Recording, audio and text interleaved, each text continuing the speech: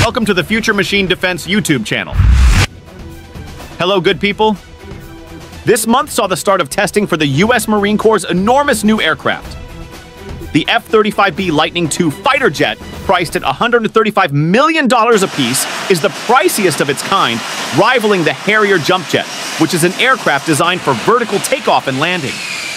Together, Marines and sailors have been conducting Operational Test 1, which aims to evaluate the F-35B's integration with a U.S. Navy destroyer, LHD-1, since May 18th.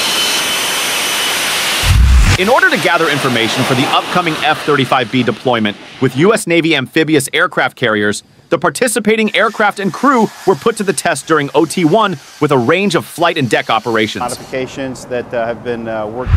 Colonel Robert Rauenhorst, commander of Marine Operating Test and Evaluation Squadron 22, stated, We are conducting a direct representation of Marine Corps operational fleet forces during this period of operational testing. We are examining the F-35 program's progress as well as ship modifications implemented by Naval Sea Systems Command and the Joint F-35 Program Office.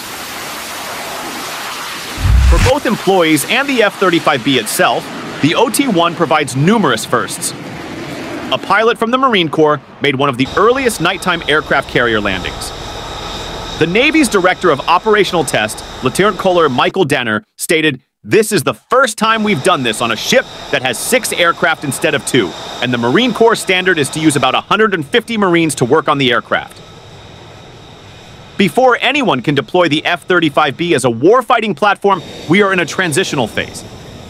In addition to being the most adaptable and cutting-edge aircraft in the sky today, the F-35B will replace three outdated Marine Corps platforms. The FA-18 Hornet, the EA-6B Prowler, and the AV-8B Harrier. Captain Colin Newbold, an F-35B pilot with Marine Fighter Attack Squadron 121, stated, I flew the Harrier initially. Flying this aircraft is considerably different from flying a Harrier. It is a very pilot-friendly jet, nonetheless, and a pleasure to fly. And I believe that will be really successful for us.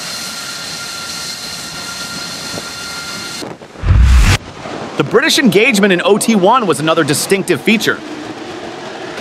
Our Royal Navy and Royal Air Force personnel participated in Joint Strike Fighter training alongside participating Marine units prior to OT-1. Seeing the same version of the aircraft that they will use is a great opportunity for the UK, Gaynor stated. As they work on the Queen Elizabeth class carriers, this is a valuable insight. The aircraft's capacity to provide logistical assistance onboard U.S. Navy amphibious ships was evaluated in addition to its suitability for Marine Corps warfighting components and its operational testing. The aircraft's logistical footprint is just as important as its design and our lessons learned from this, Diener stated. When we want to deploy this aircraft with all the logistical support behind it, we want to observe how it functions in a constrained location, notably a ship. This stress test is excellent. It's a success to be here and take part in this, Newbold declared. We've come a long way in a short amount of time. Being able to participate in something like this is fantastic.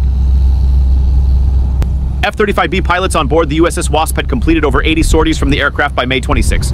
F-Corps gained a depth when the Marine Corps demonstrated for the first time that the MV-22 Osprey could successfully transfer the massive and intricate spare engine power module of the F-35B from land to sea.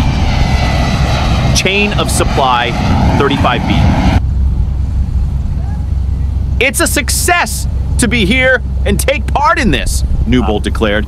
We've come a long way in a short amount of time. Being able to participate in something like this is fantastic. Thank you for watching.